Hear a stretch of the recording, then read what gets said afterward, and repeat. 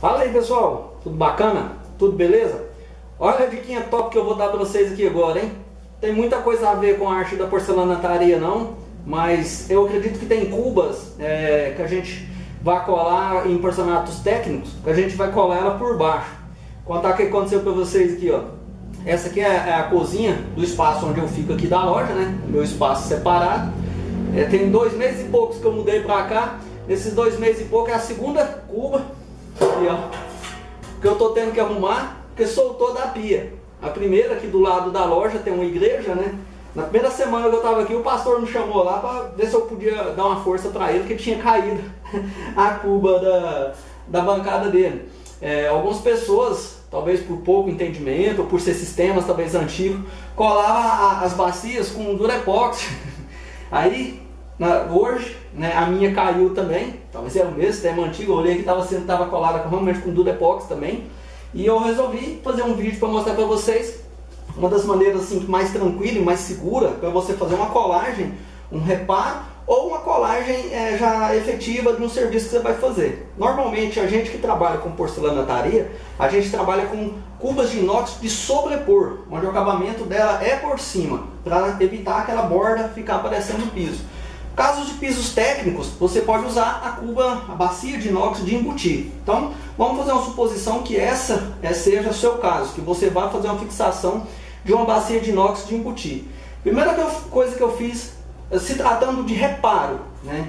eu peguei a bacia, levei lá na minha oficina, dei todo um, um lixamento na parte de cima dela, um desbaste, para aumentar a aderência do metal com a cola. Né? No caso, a cola aqui por cima é silicone PU ou fixa cuba.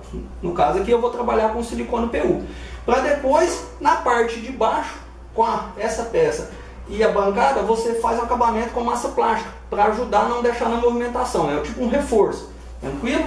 E no caso de reparo, que eu estou fazendo aqui, vocês vão lixar essa parte de baixo aqui, ó, tirando todo o excesso de massa, toda a sujeira, toda a umidade, e depois limpa com álcool em gel que seja, fica bem limpinho, para depois sim você tá fazendo a colagem, beleza?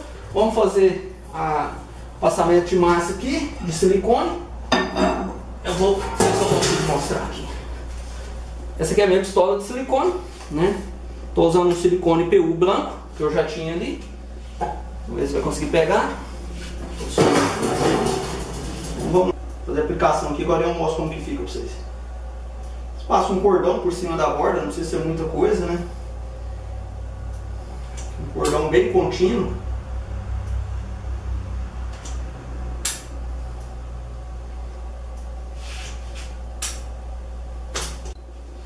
Beleza, ó, deu uma acelerada aqui, ó. Então, é assim que vai ficar, ó.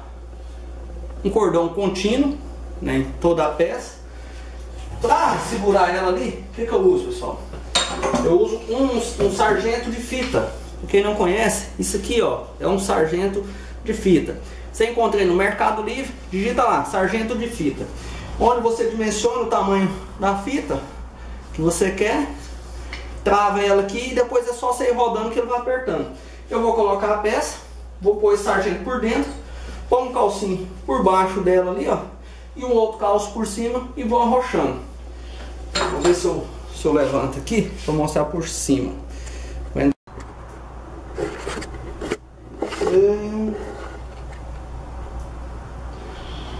Bom, acho que agora vai dar para mostrar. Meu tripé de regulagem não está aqui. Pessoal, como for fazer esses desbaixos, ó, use uma máscara de proteção boa. Né? Essa aqui é com filtro inibidor de cheiro. Então ela é bastante bacana mesmo, ó, porque muita poeira, essa poeira de massa plástica prejudica bastante. Então vamos lá. Né? Peguei a, a, a, bacia, vou colocar ela por baixo, né? vou verificar o lado certo. Né? Tem bacias que tem lá, principalmente você olha ali, ó, é, que nós não vai dar para ver. Sempre tem o nome da marca da bacia, ele sempre fica pro fundo da pia. Vou colocar ela por baixo, no lugar que eu acho correto aqui, ó. Beleza? Dou uma flexionada, ó. aperto bem. Beleza, apertei. Vou descer a fita, né, o laço da fita ali dentro.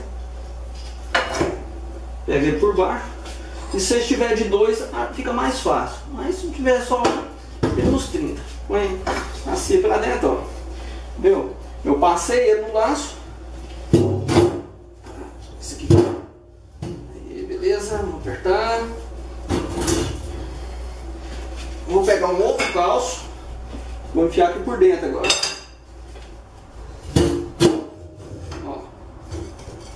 Apoiou bem, agora vem e trava a fita. Travou? É só eu começar a rodar agora a fita. O grampo. Já apoiou. Pula a peça. Aperta.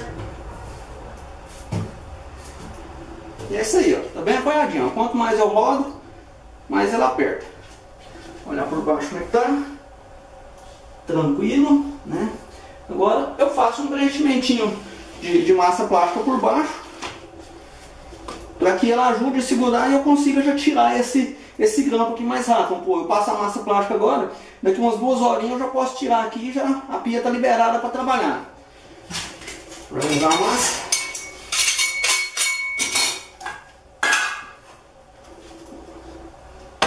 Uma porção aqui que eu acho que vai dar para fazer. Vamos na massa.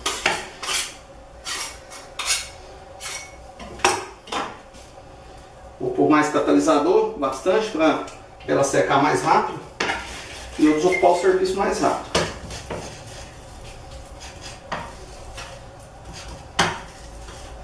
Se for fazer a colar só com fixa cuba ou com PU, então é aconselhado que você deixe pelo menos um dia para o outro, sem mexer na pia. Mas quando você faz esse processo aqui, você consegue desocupar ele mais rápido. Essa aí, pessoal. Fiz a colagem. Vou mostrar aqui um pouco por cima para vocês como funciona o sargento de fita. Tá vendo?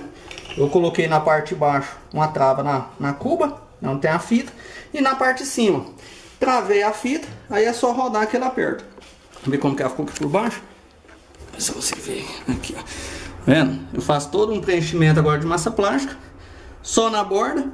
Isso aqui vai ajudar eu já conseguir liberar essa cuba mais rápido. Ó. Não é isso aqui que segura a cuba, na verdade. Isso aqui é um reforço. O que segura é aquilo ali, ó. É o silicone PU ou fixa cuba na parte de baixo. Então, essa aqui é uma das maneiras que a gente usou aqui para tá trocando essa bacia de inox. Lembrar que na, na porcelanaria, falando mais uma vez, para não ver o acabamento, pessoal tem muita essa pergunta, como que eles fazem para sumir a cor do piso? Gente, trabalha com a cuba de sobrepor. O acabamento da cuba de sobrepor é aqui em cima, ó. Então ela tampa e cuida do acabamento da borda, beleza? Então foi mais um vídeo aqui para dar uma força para a galera. Lembrando de novo, toma muito cuidado com a poeira, usa máscara, usa um ventilador para te ajudar a tirar a poeira daqui. E eu espero que esse vídeo tenha te ajudado. Então falou pessoal, abração!